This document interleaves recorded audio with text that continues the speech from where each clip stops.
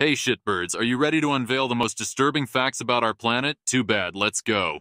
In 1812, an earthquake on the New Madrid fault line was so powerful that it made the Mississippi River flow backward. Entire towns were swallowed. Like you should have been. I know you dummies think you're safe because this happened so long ago, but sucks to suck, this fault is still active. Experts say it's not a matter of if, but when the next devastating quake will strike. Now imagine a disaster that could wipe out millions in an instant. I know a lot for your brains to imagine. The Yellowstone supervolcano, a ticking time bomb beneath the U.S. If it were to explode, it could bury entire states in ash, block out the sun, and trigger a volcanic winter. So get to praying. And then there's the great dying, and no, that isn't a good thing just because it has the word great in it, Einstein.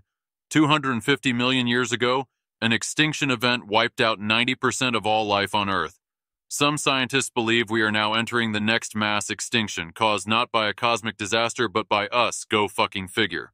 The signs are already here vanishing species, rising temperatures, and poisoned oceans.